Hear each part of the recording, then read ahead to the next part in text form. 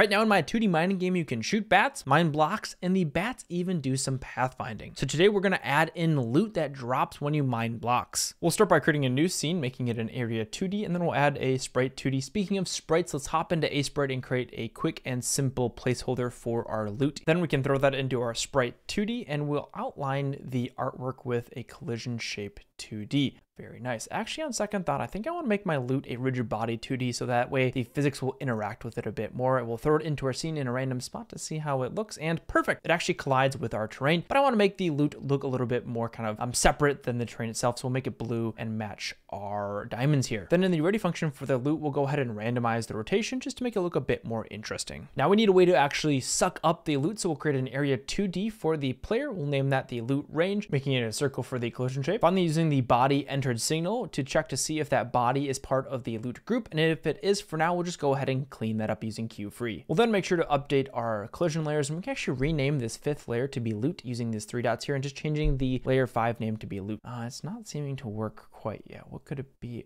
Oh, yep, it looks like I didn't actually add loot to the loot group. Let's run a quick test and fantastic, there we go. Now let's throw together a quick little piece of UI just to track how many pieces of loot we've collected during the session. And it looks good enough for now, right? It doesn't have to be perfect. It just has to be good enough for this kind of this current little session. All right, now let's spawn in some of this loot when we actually mine a tile. And to do that, I'm gonna create a little bit of a for loop here. We'll need a reference to our loot packed scene. We can use an export variable right there. Very nice. Then we'll instantiate a piece of our loot using the instantiate function. Then we can use add child to add it to our current scene. And finally, we'll go ahead and change the position just to be a bit random. So when it spawns in, it kind of looks like a bunch of loot pops out of the mine tile. Oh, uh, uh, what? Oh, I didn't actually set the export variable for the pack scene there, and we'll also turn off the collision shape so it's a little bit cleaner to see.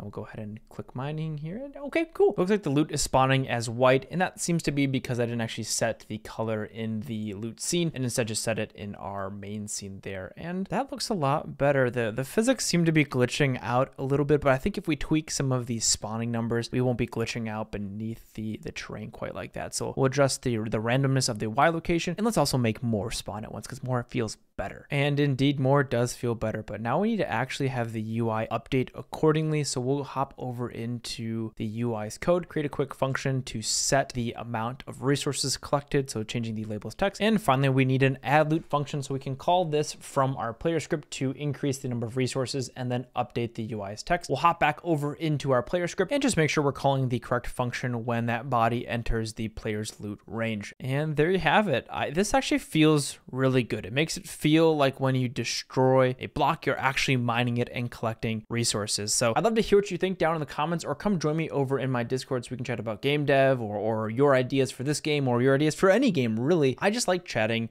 with you viewers. It's, it's why I do what I do. Thank you so much for watching. I've been Aarimous. Have a great day.